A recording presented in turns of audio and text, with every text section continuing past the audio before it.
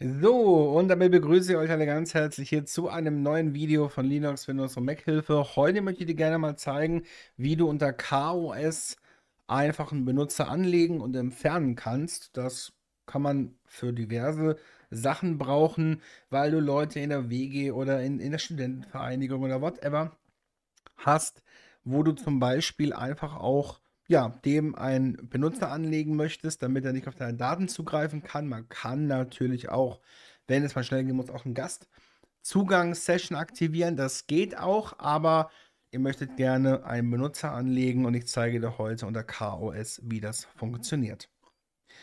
Wenn jetzt Leute in die Kommentare schreiben, äh, das ist das so einfach und warum machst du überhaupt sowas Einfaches? Und dann muss ich sagen, ja, es gibt Leute, die wissen eben nicht, wie das geht und die sind froh und dankbar darüber, dass es YouTuber auch wie mich gibt, die über sowas berichten, die das zeigen vor allem auch, auch wenn es für einige wahrscheinlich das einfachste der Welt ist, aber es ist ja eigentlich immer so mit den Sachen, ne? Äh, je einfacher oder wenn man es mal gemacht hat, dann weiß man, wie es geht oder wenn man es mehrmals gemacht hat und dementsprechend, ähm, ja, das einfach zur Info. Wir gehen also hier auf den K-Start-Button und gehen in die Systemeinstellungen rein. Dann gehen wir hier links, scrollen etwas nach unten und dann haben wir hier den Punkt Benutzer. Und da haben wir hier schon meinen Benutzer Linux Windows Mac Hilfe.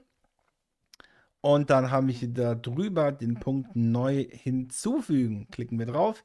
Dann wählen wir als Name, ich sage jetzt einfach nur mal Super und als Benutzername den Tux. Tux. So.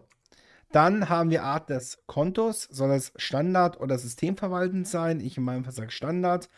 Wenn ich was installieren möchte, dann möchte ich gerne, dass er mein Kennwort benutzt, beziehungsweise er gar nicht die Möglichkeit dazu hat.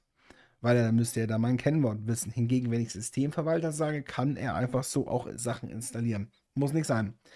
Dann geben wir hier ein Passwort ein, mal gucken, ob er das nimmt. Wir klicken also auf Erstellen.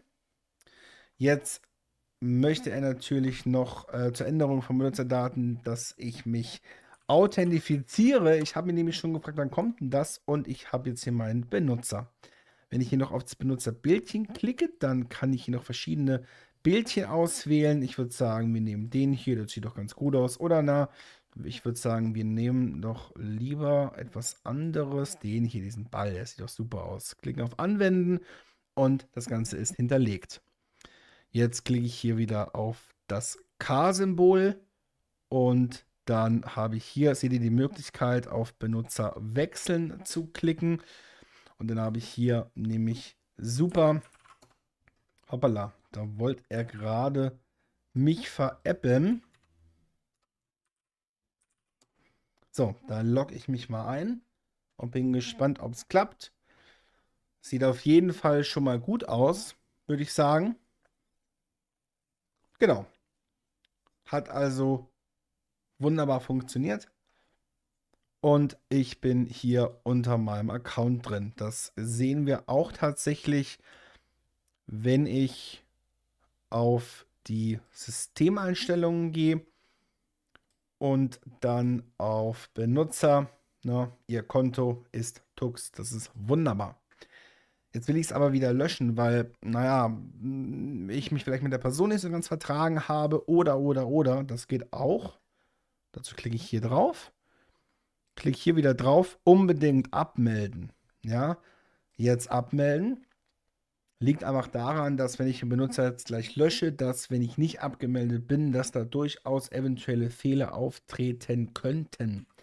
So, dann logge ich mich tatsächlich hier wieder mit meinem Benutzer Linux Windows Mac Hilfe ein. Ihr seht, das funktioniert nicht. So. Und dann bin ich wieder hier in den Systemeinstellungen. Ne? Also ich klicke hier drauf, Systemeinstellungen, scrollt etwas nach unten, dann auf Benutzer habe ich hier den, klicke auf Benutzer löschen. Ich möchte die Daten ebenfalls löschen. Da muss ich mich natürlich wieder legitimieren. Klicke auf OK und der Benutzer ist erfolgreich gelöscht worden. So, das war es soweit von der ganzen Sache. Ich hoffe, wie immer, hiermit geholfen zu haben. Verbleibe mit freundlichen Grüßen, sage Tschüss, bis zum nächsten Mal und ciao.